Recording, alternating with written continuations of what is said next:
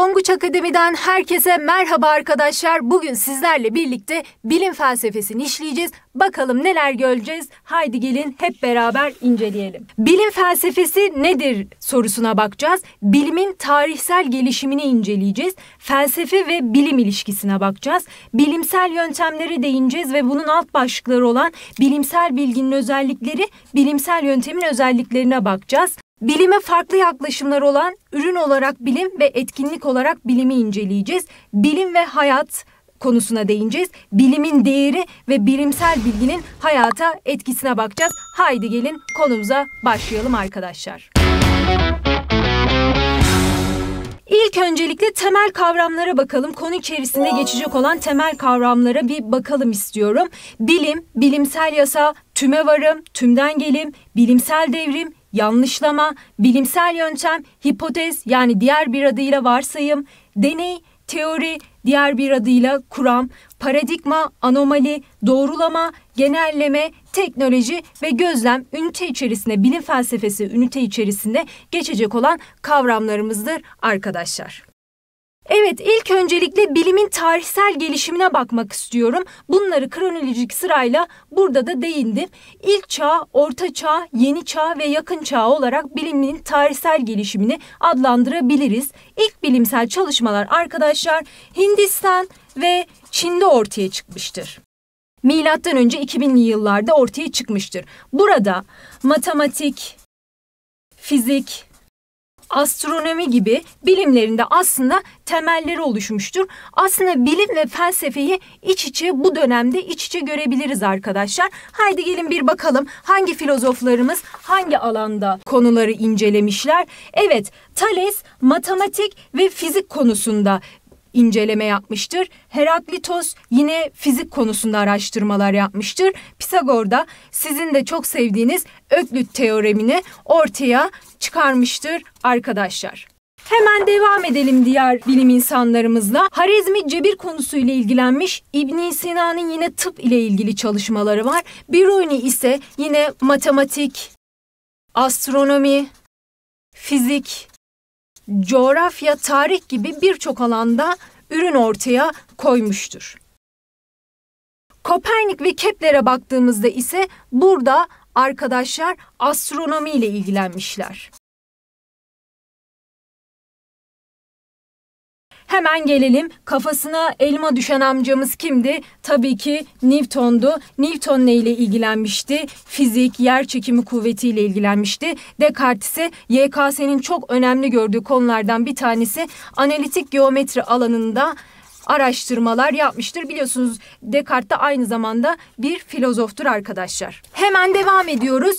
Bunun akabinde 19. yüzyılda olan bilimsel etkinlikler var. Burada da 3 tane bilim insanı karşımıza çıkıyor. Üçünün de ortak noktası nedir? Biyoloji. Yani bu üç filozofumuz, üç bilim insanımız yani Lamarck, Bernard ve Darwin aslında evrim teorisiyle ilgilenmişlerdir. 19. yüzyılda Auguste Comte neopozitivizmin temellerini atmıştır. 20. yüzyılda da biz bunu neopozitivizm ortaya çıkmıştır diye kabul edebiliriz arkadaşlar. Evet, felsefenin içerisinde bilim görüyorsak felsefe ve bilimin bazı benzerlikleri vardır. Yani e, çoğu yönden benzerler. Bunları bil kısmında bunlara bir bakalım. Özellikleri, benzerlikleri nelermiş? Hemen açıyorum. Bilim ve felsefe eleştireldir arkadaşlar. Yani ikisi de eleştirel bir tavır takınır. Olanı olduğu gibi kabul etmez. İkinci özelliğimize bakıyorum benzerliğimize. İkisi de dinamiktir, ikisi de değişkendir. Yani var olan bir düşünce sonrasında değişebilir diyoruz. Hemen üçüncü benzerliğimize bakıyoruz insanı ve hayatı anlamlandırmaya çalışır. Yani hem bilim hem felsefe ikisinin de alanı insan ve hayatı anlamlandırmadan geçer. Hemen diğer özelliğimize bakıyoruz. Bakalım ne çıkacak? İkisi de akla dayalıdır. Yani diğer bir ismiyle nedir? Rasyonelisttir arkadaşlar. Hemen diğer özelliğimize geçiyorum. Mantık ilkeleri çerçevesinde bir açıklama yapar. Felsefede bilim yani mantıksız, sistemsiz bir açıklama yapmaz. Son özelliğimize, son benzerliğimize hemen açalım. ikisi de bilinçli ve sistemlidir arkadaşlar. Yani bilim ve felsefenin çok fazla aslında benzer olduğu taraflar vardır. Peki farklı olduğu taraflar yok mudur? Elbette farklı olduğu taraflar da vardır. Buna ne diyoruz? Felsefe, Buna ne diyoruz? Bilim.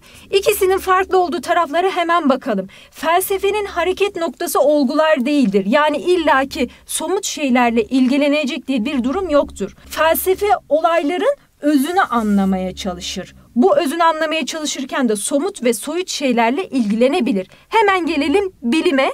Bilimin hareket noktası olgulardır. Yani somut olanla, metafizikle ilgilenmez, fizik ötesi şeylerle ilgilenmez. Peki bu olguları incelerken olayların özünü nasıl anlıyor? Neden? ve sonuç ilişkisine dayandırarak anlıyor. Bu iki farklılık felsefe ve bilim arasındaki en önemli iki etkendir arkadaşlar. Hemen gelelim bilimsel bilginin özelliklerine. Aslında konu içerisinde telaffuz ettim. Hemen tek tek kısaca bahsedelim. Bilimsel bilgi olgusaldır dedik mi? Evet ne demiştik? Somut şeylere dayanır demiştik. Gözlemlenebilir olması gerekiyordu. Tabii ki mantıksal mıdır? Evet mantık ilkeleri çerçevesinde açıklamalar yapıyordu. Nesneldir, objektiftir. Yani kişinin düşüncelerine göre bir açıklama olamaz. Eleştirel midir? Evet, olan olduğu gibi kabul etmiyordu. Eleştirel bir tavır takınıyordu. Genelleyici midir? Evet, ortaya attığı şey her durum için genelleyici olabilir. Kümülatiftir. Yani yığılan, ilerleyerek yığılan bir bilgidir. İlerleyerek yığılan bir bilgidir deneysel ve uygulanabilirdir. Ortaya attığı hipotezi deneye tabi tutabilir veya uygulayabilir. Uygulanabilirdir. Kesin bir bilgidir. Son özelliğimiz kesin bir bilgidir diyeceğiz arkadaşlar. Bunlar bilimsel bilginin genel özellikleri. Evet devam ediyoruz. Felsefe içerisinde bilime farklı yaklaşımlar var. İki tane grup karşımıza çıkıyor. İki farklı görüş karşımıza çıkıyor. Birinci grup diyor ki ürün olarak bilim yani diğer bir ismiyle neopozitivizm diyor. İkinci grup ise etkinlik olarak bilim diyor. Hemen gelin kısaca bunların içeriğine bir bakalım. Nelerden bahsediyorlar? Bilimi ürün olarak görenler aslında bilimi anlamamız için ortaya koydukları ürün yığınlarıyla ilgilenmemiz gerektiğini savunuyorlar. Yani bilim, bilimsel yöntemler ile kuramlardan oluşan bir bilgi yığınıdır. Temsilcileri Carnap, Reinbeck ve Hempel'dir.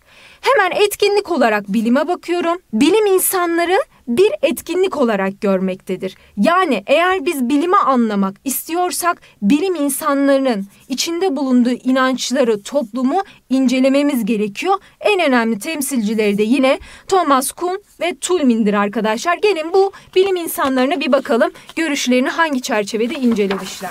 İlk öncelikle ürün olarak bilime bakıyoruz. Burada karşımıza Carnap ve Reinbeck çıkıyor. Carnap diyor ki ürün olarak ortaya koyduğumuz bir şeyi doğrulamak için iki tür alternatifimiz vardır. Bunlardan birincisi doğrudan doğrulama, ikincisi ise dolaylı doğrulamadır. Doğrudan doğrulama bahsedilen nesnenin gözlemlenebilir olması. Kalem siyahtır dediğimde şu an bu kalemi gözlemleyebiliyorum.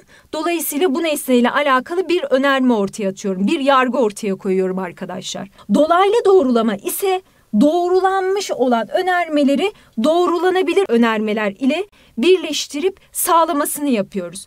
Hemen buna bir örnek verelim kafamıza daha net olması açısından. Anahtar demirden yapılmıştır dedik. Anahtarın demirden yapıldığını fizik kanuna göre nasıl ispatlarım? Demirden yapıldıysa mıknatısla çekilebilir. Dolayısıyla mıknatısla çekilebilmesi önceden doğrulanmış bir bilgidir. Önceden doğrulanmış bir bilgidir. İşte ben burada ne yapıyorum aslında? Dolaylı bir doğrulama yapıyorum. Anahtarın demirden yapıldığını söyledim. Önceden de demirden yapıldığı için mıknatısı bu demiri çekerek demir olup olmadığını ispat edebilirim, doğrulayabilirim. Dolayısıyla arkadaşlar burada da dolaylı doğrulama yapmış oluyorum. Hemen Reinbeck'e bakalım. Yine ürün olarak bilimi görüyor. Bilimsel önermeler der sadece doğrulanabilirlik ilkesine uygun olmalıdır. Birazdan bunların eleştirilerine bakacağız arkadaşlar. Neden bunların yanlış olduğuna dair. Bilimi ürün olarak gören diğer bir bilim insanımız Reinbeck'e bakalım.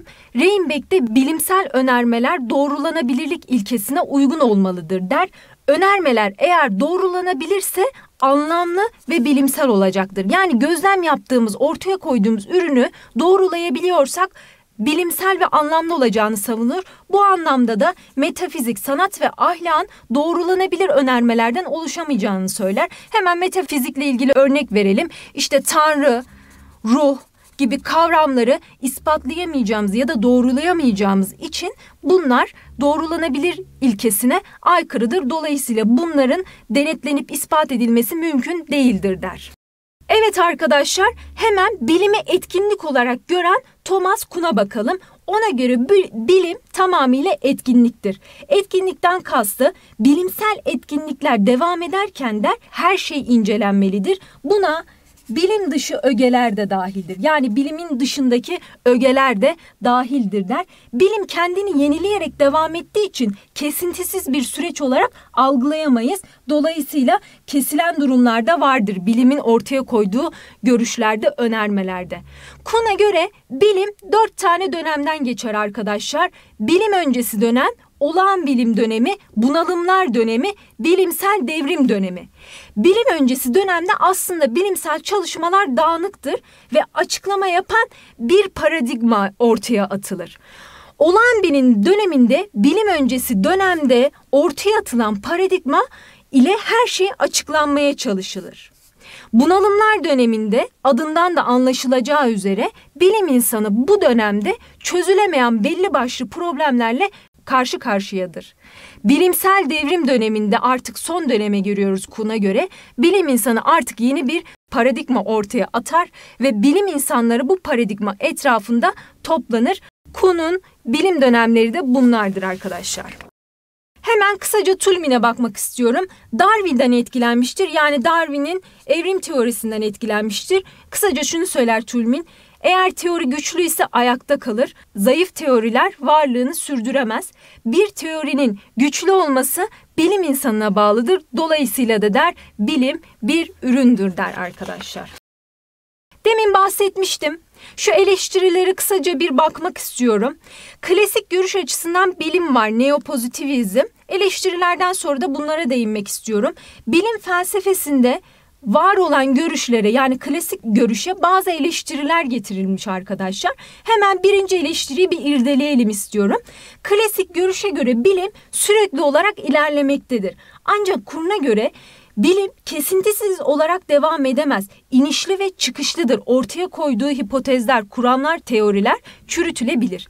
İkinci eleştiride ise bilimin sosyal fiziğe indirgenmesi aslında bilimin gelişmesinde engeldir der. Yani işte bilim insanının inançları, görüşlerinin incelenmesi aslında bilimsel gelişimin önündeki bir engeldir der. Üçüncü görüşte ise klasik görüşte doğrulanabilirlik ilkesinden söz edilirken aslında der burada yanlışlama yöntemini kullanırsak daha iyi olur. Neden? Bütün kargalar siyahtır diyelim örneğin bütün kargaların siyah olduğunu tek tek her yeri gezerek bulamayabiliriz. Ama bir tane karganın beyaz olduğunu bulup durumu yanlışlayabilirsek sonuç daha doğru olur der. Dolayısıyla genelleme yapmak ve bunu ispat etmek daha zordur. Yanlışlanabilir yöntemini kullanmak daha kolaydır der. Dördüncü eleştirimizde ise bilimi oluşturan asıl şeyin bilim insanları olduğunu, dolayısıyla bundan ötürü de inançlar, dünya görüşleri ve benzeri incelenmelidir der. Burada da biraz sosyal açıdan bir eleştiri yapılmış. Beşinci eleştiride klasik görüşe göre bilimin bilemeyeceği hiçbir şey yoktur yanılgısı vardır. Evren sınırsızdır ve her şeyi de bilmek mümkün olmadığını savunur. Arkadaşlar klasik görüş açısından bilime bir bakalım. Yani diğer bir ismiyle neo pozitivizm. Bilim der olguları konu edindiği için metafizik anlamsızdır. Olgu neydi? Somuttu. Olgu somuttu, metafizik neydi? Fizik ötesiydi. Yani ispatlayamadığımız, deney ve gözlem yapamadığımız bir alandı. Dolayısıyla bilim olguları konu edindiği için metafiziğin anlamsız olduğunu savunur. Bilim neden sonuç ilişkisine dayandığı için öngörüde yani önceden tahminde bulunabilir. Çünkü neden sonuç ilişkisi vardır. Tüm bilimlerin birbiriyle ilişkili olduğunu söylerken matematiğin de tüm bilimlere aslında örnek ve öncü olduğunu savunurlar. Bilimsel bilgide amaç tüme varımsal olarak genel yasalara ulaşmaktır. Tüme varım yöntemi neydi? Hemen bir kısaca hatırlayalım. Tüme varıyorduk. Dolayısıyla özelden genele sonuç çıkarıyoruz. Bilim kümülatif ilerler demin bahsetmiştim bilimsel bilginin özelliklerini söylerken yani ilerleyerek biriken bir bilgidir. Bilim her şeyi açıklayabilir der son görüşümüzde de. Evet arkadaşlar, bilimsel yöntemin özelliklerine bakalım. Bilimsel yöntem nasıl kuruluyor? O hipotezli varsayımlar, deneyler hangi aşamada yapılıyor? Hemen kısaca bir açıklayalım. Bilimsel yöntemi oluşturabilmek için ilk önce betimleme ve açıklama yapmamız gerekiyor arkadaşlar. Betimleme ve açıklama yapmamız için bir problem tanımlamamız gerekiyor ortada bir problemin olması gerekiyor betimleme ve açıklama yapacağımız. Problemin nedenini bulduktan sonra bunu neden sonuç ilişkisi içerisinde araştırmaya başlıyoruz. Araştırma yaptığımız şeyle alakalı hipotez kuruyoruz. Hipotez kurduğumuz şeyi nasıl test edebiliriz? Deney ve gözlemle test edebiliriz. Kurduğumuz hipotezi deney ve gözlemlerle test ediyoruz. Doğrulanmış hipotezlerle yani burada deney ve gözlemle test ettik. Eğer doğrulanırsa hipotez bununla alakalı kuramlar oluşturuyoruz. Kesin ve doğru olduğunda ise bu kuramlar kesin ve doğru olduğunda ise biz genel yasalara ulaşmış oluyoruz. Bunu şöyle komik bir karikatürle size anlatmak istiyorum daha iyi anlaşılması açısından. Burada bir bebeğimiz var. Hemen bebeğin önündeki yeşil yaprağımızı görüyoruz. İlk önce bebeğimiz bununla ilgili bir gözlem yapıyor. Doğru mudur arkadaşlar? Ne olduğunu anlamaya çalışıyor. E tamam eline aldı. Yeşil yaprağımızla ilgili bir hipotez geliştiriyor. E, şu an anlamlandırmaya çalışıyor yeşil yaprağı. Şimdi yeşil yaprağın ne olduğunu anlamak için deney yapacak. Ağzına alıyor. Ağzına aldığı andan itibaren bulguları rapor ediyor. Çok acı gelmiş yaprak ona. Sonrası özür diliyorum. Dördüncü aşamada da veriyi analiz ediyor. Eline aldığı yeşil yaprağın verisini analiz edip bunların bulgularını rapor ediyor. Acı, tatlı, ekşi gibi. Yeniden test etmek için de diğerlerini çağırıyor çağırıyor. Yani diğer bilim insanlarını çağırıp sağlamasını yapıyor ya da gerçekten başkasına deney ve gözlem yaptırıp kesin sonuca genel yasalara ulaşmak istiyor. Arkadaşlar aslında kısaca bilimsel yöntemi burada bir karikatürize etmiş olduk e, anlaşılması açısından. Bilimsel yöntem de bu şekilde arkadaşlar. Evet arkadaşlar bilimsel yöntem konumuz çok ayrıntılı bir konu değil. Konu biterken nelere değindik hemen onlara bir bakalım. Bilimin tarihsel gelişimine baktık, kronolojik sırasına baktık. Felsefe ve bilim ilişkisini irdeledik. Benzerliklerine ve farklılıklarına baktık. Bilime farklı yaklaşımlar olan ürün olarak bilim, etkinlik olarak bilime değindik. Bilim felsefesine olan eleştirilere baktık. Yine neopozitivizmin neler söylediğini inceledik. Bilim felsefesindeki konularımız bunlardı arkadaşlar. Evet karşınızda ödüllü sorumuz. Cevaplarınızı yorumlara bekliyoruz. Kendinize iyi bakın. Hoşçakalın.